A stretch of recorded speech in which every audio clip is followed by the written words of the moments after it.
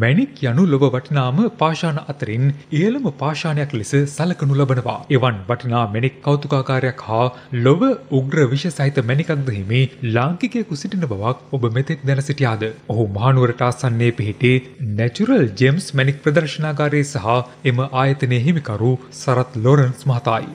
වසර බිලියන ගණනකට වඩා වැඩි කාලයක් පුරා පොළොව පත්ලේ තැන්පත් වූ මෙම විශේෂිත පාෂාණ අද වන විට දුර්ලභ වටිනාකමක් සහිතව අධික වටිනා වස්තුවක් බවට පත්ව ඇති අතර එවන් දෙවන්ත මැණික් සම්භාරයක හිමිකරු ලෙසයි ලෝරන්ස් මහතා සැලකෙන්නේ. පිය උරුමෙන් මැණික් හා රන් සම්බන්ධයෙන් ඇල්මකින් යුතු වූ ඔහු මහනුවර ධර්මරාජ විද්‍යාලයේ ආදි සිසුවක වනවා.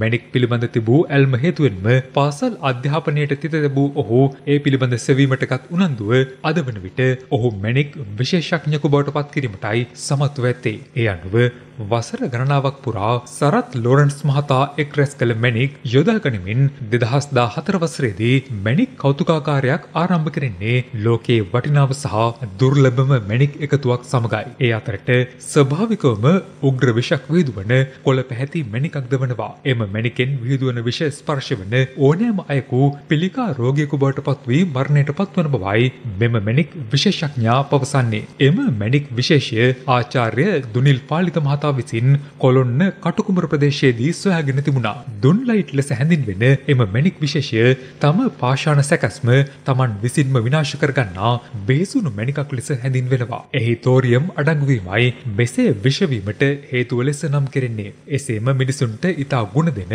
බ්ලූ සැපය හෙවත් නිල් කැට මැණික්ද මෙම කෞතුකාකාරයේදී දැකගත හැකි. එසේම වසර බිලියන ගණනක් පැරණි විශේෂිත මැණිකක්ද සරත් ලොරන්ස් මහතා සතුව පවතිනවා. ඒ මැණික් ගල ගලක් මදුරුවකු එහි අභ්‍යන්තරයේ සිටින පරිදි නිර්මාණය වී තිබීම හේතුවෙන් එසේම නියන්ඩතාල් මානවයා විසින් භාවිතා කරන ලද බව කියන විශ්මිත මැණික්ගල් විශේෂයක් හෙමටයිට් ලෙසින් හැඳින්වන අතර එම මැණික්ද ඔහු සතුව පවතිනවා. එම විශේෂිත මැණික් විශේෂය නියන්ඩතාල් මානවයන් විසින් සිදුරු කර ලනුවකින් ගෙලේ එල්ලාගෙන සිටි බව ප්‍රකාශ වන අතර එමගින් රක්ත හීනතාවෙන් බිදීමට නියන්ඩතාල් වරුන්ට හැකි වූ බවයි ප්‍රකාශ වන්නේ. එම හෙමටයිට් මැණික් මෙන්ම නිල් මැණික රතු කැටය පද්මරාගය පසිංගලය ආදී විශේෂ වර්ගයේ මැණික් රැසකටම සරත් ලොරන්ස් මහතාගේ මෙම කෞතුකාකාරය සිය නිවාසය බවටයි පත්ව ඇති. මෙවන් වැදගත් හා විස්මිත තොරතුරු දැනගැනීම සඳහා ලංකා ඒ නිවස් සබස්ක්‍රයිබ් කරන්න.